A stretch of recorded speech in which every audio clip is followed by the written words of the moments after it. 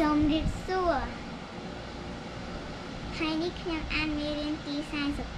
44ចំដំណាំដំឡូងមីមេរៀនទី44ដំណាំដំឡូងមីដំឡូងមីគឺជាដំណាំដែលប្រជាពលរដ្ឋខ្មែរនិយមដាំនៅតាមភូមិឋានជាអាហារបន្ទាប់ បន្សំតាមចំការនិងសម្រាប់ឧស្សាហកម្មឧស្សាហកម្មច្បាប់នេះដំឡូងមីកំពុងមានតម្រូវការខ្ពស់គេយកមើលដំឡូងមីទៅបញ្ចូលក្នុងរោងចក្រកដើមចាក់រោងចក្រដើម្បីការចៃផលិតជា ម្សៅមីកែច្នៃ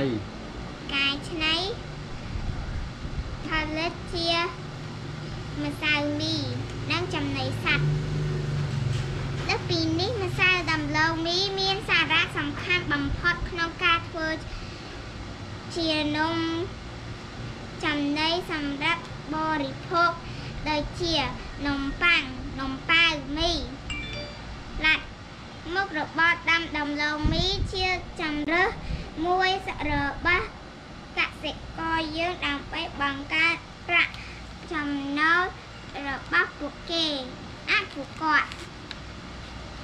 ទីផ្សារដំឡូងមីកំពុងផ្ដល់ឱកាសដ៏មានរសារៈសំខាន់ដល់ប្រជាជន គ្រប់តំបន់គេនាំគ្នាដាំដំឡូងមីនៅតា ចាញ់តទៅទីផ្សារនៅក្រៅប្រទេស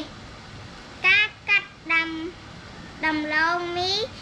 ដាំត្រង់ណាក់នាំឲ្យបានមើលច្រើនជាងការកាត់ចំហៀងដើម្បីទុកដំឡូងមីឲ្យបានយូរគេត្រូវការឡចំណុចសម្ងួតមើលមើលវា មើលវាមើលវាដំឡូងមីជាដំណាំយ៉ាងសំខាន់ដែលបានលើកកម្ពស់ជីវភាពប្រជាជននិងសេដ្ឋកិច្ចជាតិឲ្យកាន់តែប្រសើរថែមមួយកម្រិតទៀតសូមអរគុណ